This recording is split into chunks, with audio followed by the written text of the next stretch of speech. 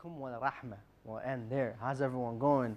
Uh, you know what it is. Of course you guys do. I mean, you guys have your TVs on, uh, opening live uh, on Facebook. And you guys, you guys can go check us out right there. But we're coming to you live from the holy city of Karbala, of course, with your favorite uh, show and your favorite host, Ahmed Ali. But tonight, uh, we are talking about something very great, something very um, influential, both on the personality on and on the mentality of an individual.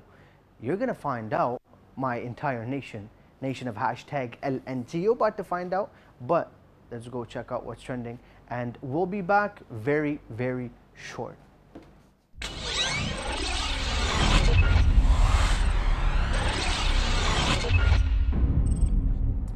Mo Salah versus Cristiano Ronaldo, or should I say versus uh, Bale, or should I say versus the Savage who kicked him out of the game early on, um, Sergio Ramos. I mean, this guy had to bring Mo Salah down to end the game. When he came out, when he went out, the game was done. But, you know, uh, but that bicycle kick was deadly. That bicycle kick killed it. That's it. It ended it. But if you guys are watching the game, it was actually a live game. Um, so my condolences, uh, my deepest condolences to those who uh, are fans of Liverpool. Uh, and congrats, Real Madrid. 13 games, only five uh, times Liverpool won. Uh, but, you know, life goes on. Hopefully next year you guys can win it. But another uh, interesting topic that uh, the Middle East is facing, uh, or especially Iraq is facing for the first time, or uh, maybe it will face, uh, the tropical cyclone um, Mekunu. Now, this is a, a, a- storm that hit Oman on Saturday um, as a Category 3 hurricane equivalent to a storm. Now, dumping nearly two years worth of rain. This is crazy. It went to Yemen, killing more than 30 people. Uh, uh, sorry, five people, uh, but 30 people are missing. Um, so hopefully they can reunite with their families, but hopefully it doesn't reach Iraq. 100 miles per hour. 100 miles is like 100 and less than 160 kilometers per hour. That's crazy. But wow, I mean, uh, you know, hopefully, hopefully everyone can, um, you know, recover from that and no uh, severe damage to anyone. But let's go and jump into tonight's topic, but after this very short break.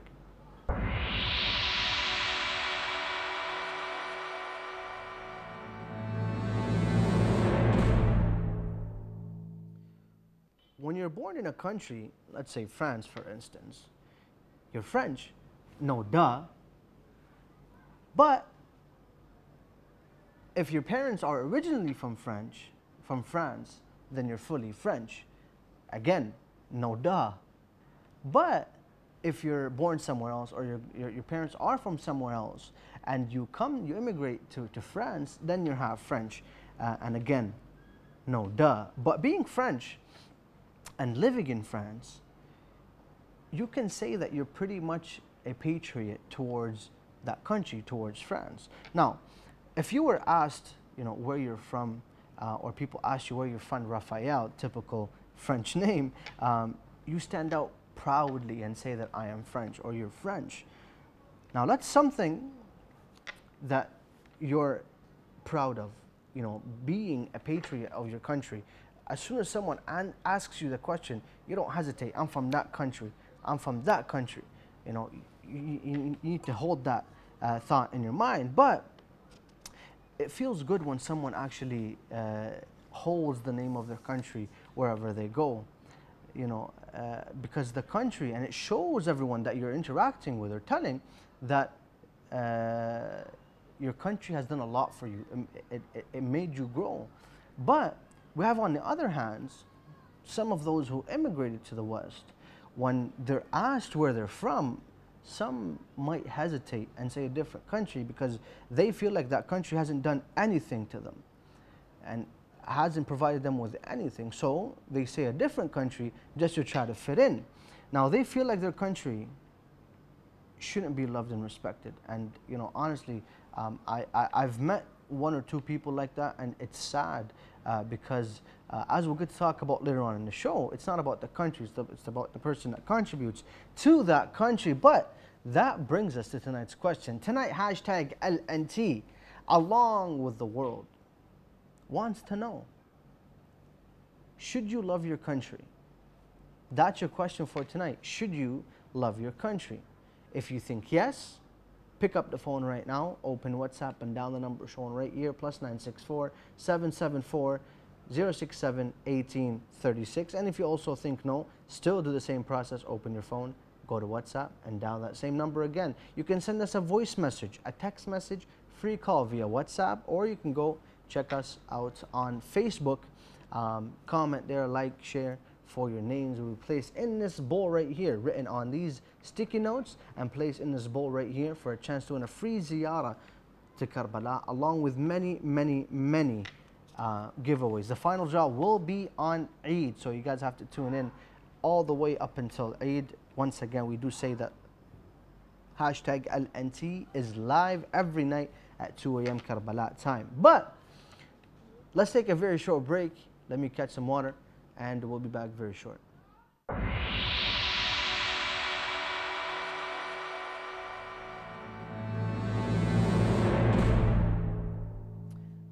Welcome back, dear viewers. Once again, it's Ahmed Ali coming to you live from the holy city of Karbala on hashtag LNT, the late night talk with you guys. And tonight, we're trying, about, we're trying to talk about something very important.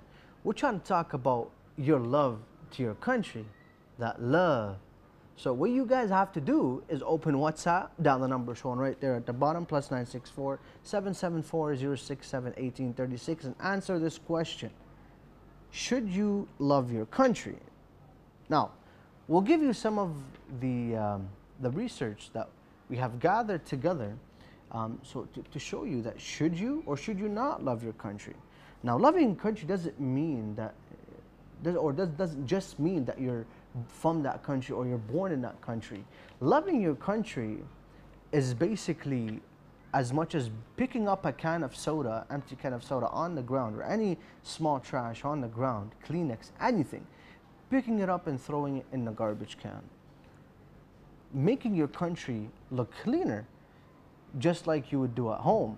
And if you're not clean at home, hopefully everyone is, but if you're not, then, uh, then you need to uh, you need to do something about it. But um, if, if, if you were to go in and, and look at other ways of how people share their love towards their country, in soccer games, your soccer games, you know, World Cup is just around the corner, and uh, we see fans uh, picking up the flag of their country, painting the flag of their country over their face, um, you know, just to support their country. And of course, if uh, your country qualified, uh, and if they didn't, just drop them. no, I'm kidding. Um, you know, you can go for, for, hopefully for the next four years to do that. But we do have a call from Hussein from Iraq. Salamun alaikum, welcome Hussein. Uh, and tonight uh, the question is, should you love your country? Um, hello, Mr. Ahmed Ali. How are you doing? Alhamdulillah, Alhamdulillah. Good evening to you as well, and welcome to hashtag LNT. Now, the question for tonight Thank you so much for having me. No problem. I, I, I know I know your question. Okay. All right, good but answer. I would say that um, if the, the country provided the basic human rights, that doesn't mean it's a democratic country. Mm-hmm. For example, uh, the uh, the North Korea Korea uh, provides the basic human rights to its own citizens, but that doesn't. It's a democratic country, right? Mm-hmm.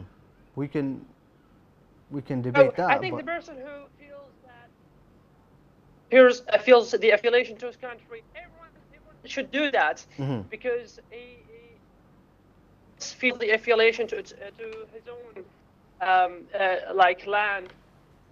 Um, in Iraq, we we have to our country. We have to feel the um, uh, like we feel that we are part from our country, and we have to. Yeah, on the whole, we should love our countries, but note is that not all the countries uh, uh, which provide the basic human rights that we should call it a democratic country. Mm-hmm. Mm-hmm. Okay, thank you very much, yes. Hussein, for joining us tonight. Um, and you know, a couple of points you mentioned there um, they're, they're very good as well. But thank you very much for joining us once again. Now, Hussein's name will go into the bowl, inshallah, at this moment.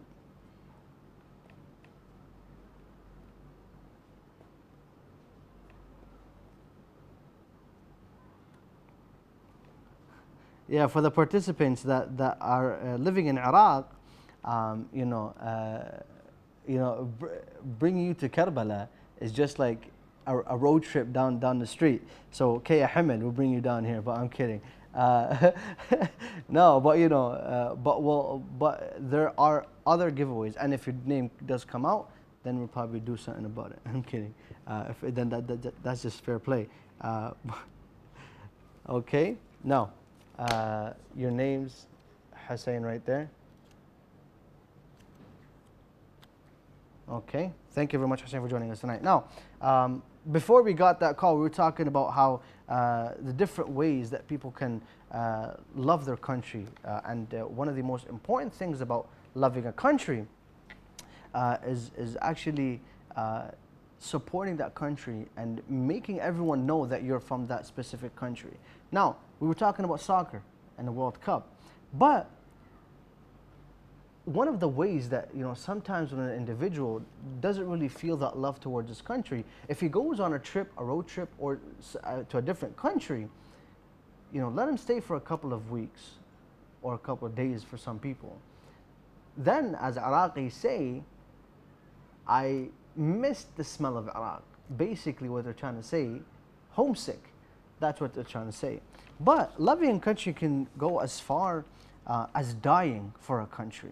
You know, if, if, if we were to go through the different world wars, everyone was a patriot, patriot towards their country because they didn't want their country to be affected by war.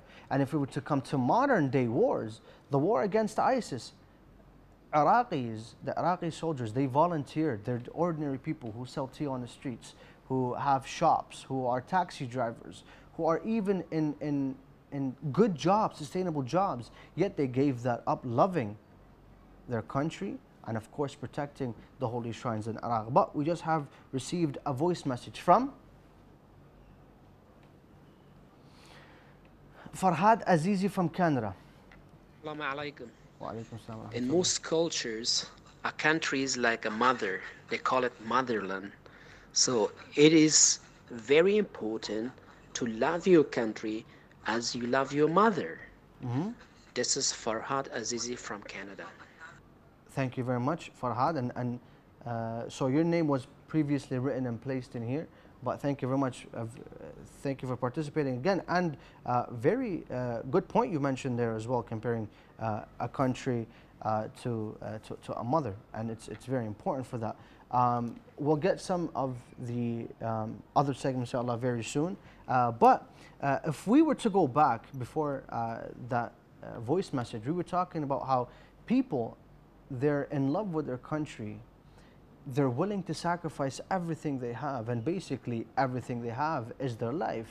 That's all they have. The money comes and goes, the cars comes and come and go, houses come and go, but a life when it goes, it's not coming back. When people sacrifice that much for a country, then it's very important to take that into consideration because that's very important at the same time. Now, let's go back a little bit to the question I asked you guys earlier. Should you love your country? Now, there's something you guys have to understand, and that's there's a difference between a country and a nation. What's the difference? We define what the love for the country uh, is, but many of us can't really differ between a country and a nation. And how does a country differ from a nation?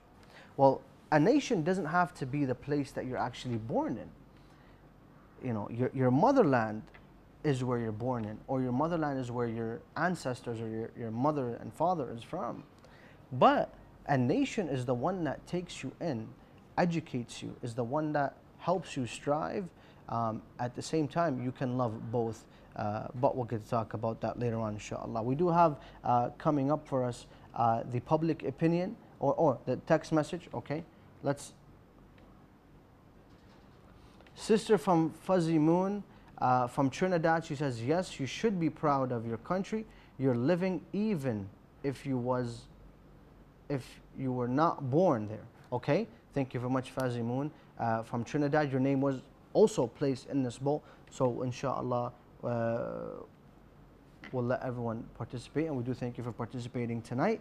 Uh, now, let's go and check what the public has to say about tonight's question.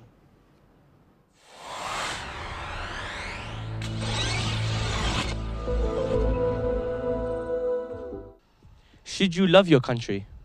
Of course. So uh, my country would be uh, back home would be Iraq. I love that with a passion, as it's uh, m- a nation um, that's striving and prospering, and at the same time uh, the UK as well. That's my country. They're the people that you know welcomed us in and helped us and educated us, and yeah, definitely you should have. because it's your country, you know, so it's where you're representing. because it's where you've been born and it's, it's where you belong. We are in a world where society is changing rapidly, and we are injected with disruptive politics which is infiltrating among us and destroying the harmony and peace. And I believe that each country is fighting against these odds to keep the nation intact and cater to better healthcare, which in turn leads to better economy. So for us, it's very important to love yourself and the people around you, and of course, your country. To end this, I would like to quote what John F. Kennedy once said Ask not what country did to you, ask what you can do for your country. Thank you.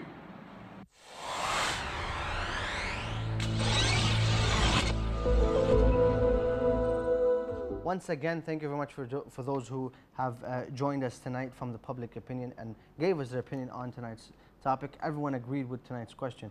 Uh, but uh, we do remind everyone for uh, lending it. Give me this camera here. Give me this camera here. I don't hear the phones ringing. Well, I actually do. They're, they're coming in right now. But pick up the phone right now, open WhatsApp, um, because honestly, I have a question for you guys alongside this right here. Should you love your country? Don't you guys want to come to Karbala for free? We're not trying to say that you know what you know, you know uh, but it's it's it's a good chance that you might come to Karbala. Uh, but all you have to do is open WhatsApp, dial the number shown at the bottom right there, plus nine six four seven seven four zero six seven eighteen thirty six, and let us know what you think about tonight's question. Should you love your country? That's the, that, that's your question for tonight. But um, before the break, we were talking about the difference between a nation and a country, and we came to the conclusion that they're different.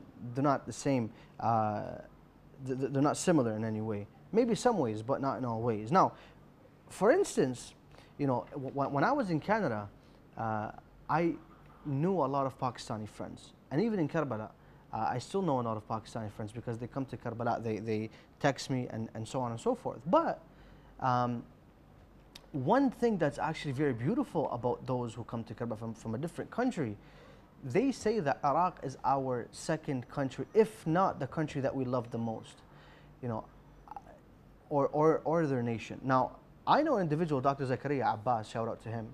Um, this individual, every time he comes to Karbala more than three times a year, uh, two to three times a year. And when he does come to Karbala, he has initiatives in Karbala. And uh, he says that Iraq is my second home. So he doesn't feel that he is homesick. And this actually is very important for anyone that visits, visits another country that signifies something. When you visit Iraq, you're basically visiting the holy shrines. Um, there are some nice sites out there, but you're basically visiting the holy shrines in Iraq. And when you're here, um, you feel like the connection between you, the shrine, automatically strength, strengthens the connection with you and that country that you're visiting. Now, um, let's uh, let's go see what the expert has for us tonight. Uh, Dr. Hussein al Rumaiti joining us once again on hashtag LNT. To him.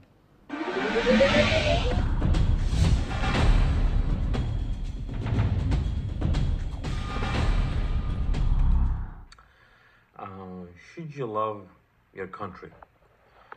Uh, regardless of the label you may want to give to the to the notion of loving your country, whether it's uh, uh, nationalism, patriotism, or just simply just calling it uh, loving your country.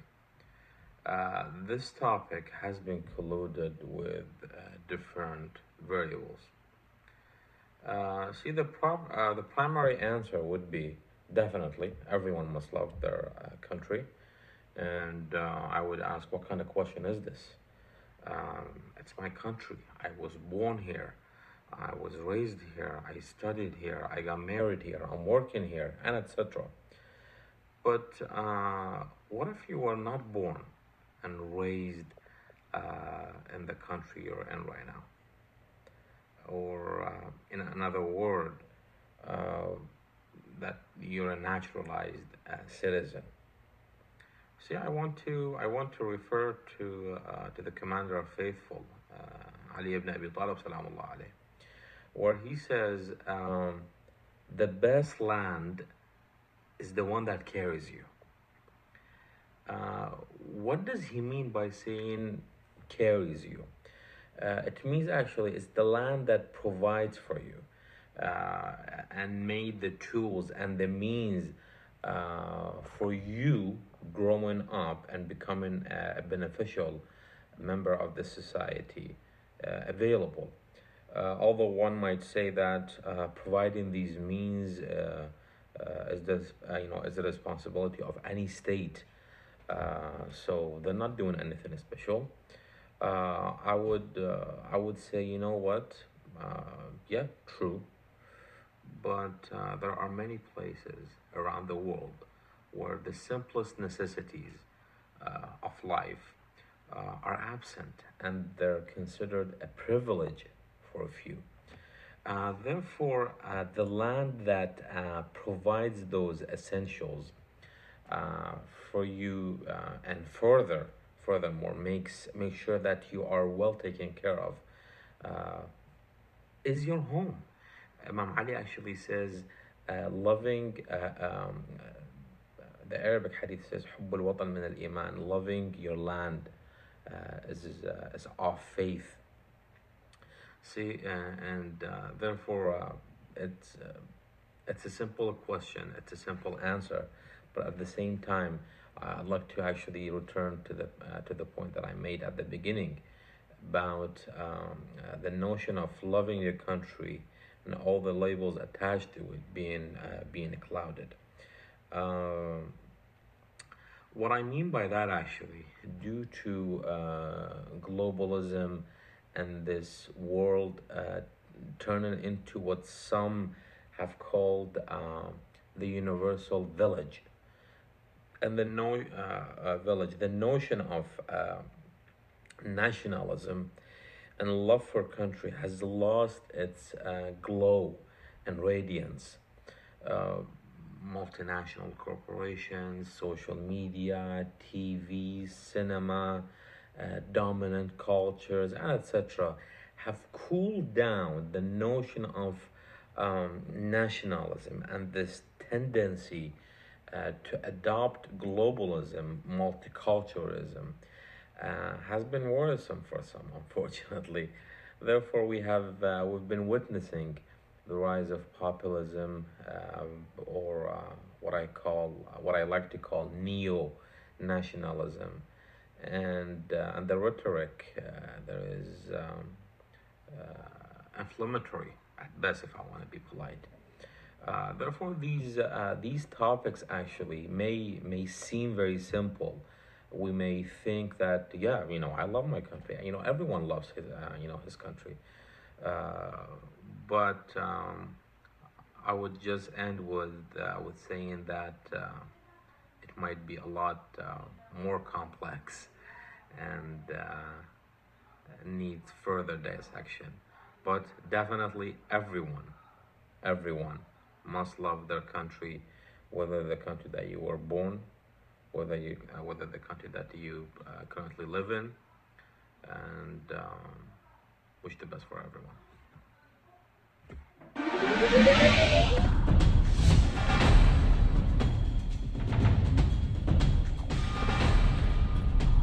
Once again, thank you very much, uh, Ramaiti, for joining us tonight.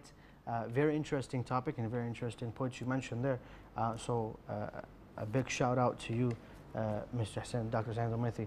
Uh, once again, thank you for joining us tonight. Now, before the break, or not break, but before we were talking to uh, Hussein Ramaiti, we were, we were discussing um, the ways, various ways that you can love a nation or you can love a country, and you can love them both at the same time. But we do have a call from Musa from Iraq. Salamun alaikum, welcome to hashtag LNT. Hello, Mr. Ahmed Ali. Hello, hi. Yeah, welcome to hashtag LNT. Hello. And tonight's question Should you, you. love your country? Yeah, I love my country so much. And I love Iraq very much. And I love you, man. Thank you very much. Thank you very much. I love you too. I love you too. And and, Yeah. and Iraq, loves you as well. Iraq is a very, very good country. Emma and Anbiya and Balad al-Turath. Allah. Thank you very much, uh, Musa, for joining us tonight. Very, uh, it's, it's it's actually very nice. Thank you very much for joining us tonight. It's it's it's very nice to find someone that can you know really connect to his country, as we find Musa from Iraq. Thank you very much, Musa, for joining us tonight. Uh, your name will be M O U S A, uh, Musa Iraq. P10. Call. Thank you very much, uh, Musa from Iraq, for joining us tonight. Right there.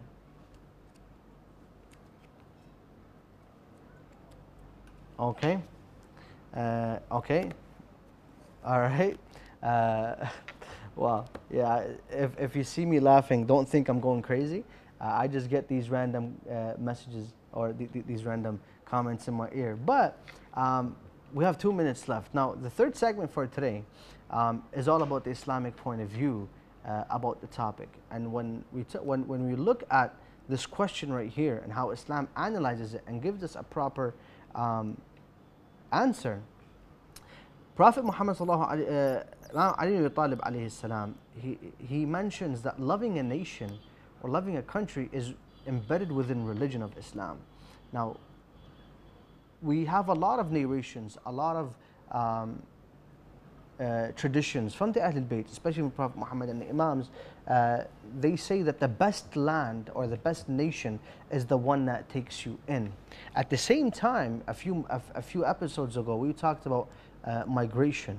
Uh, and one of the most beautiful things that we mentioned at the end of the episode um, is that seek knowledge even at, in China seek knowledge even if in, if even if it's it's in China. So love your nation and love the nation that you're living in as well, uh, which is very important because uh, you need that love because that nation or that country is giving back to you. So what you have to do is give back to that country. Now we do remind everyone for joining us tonight.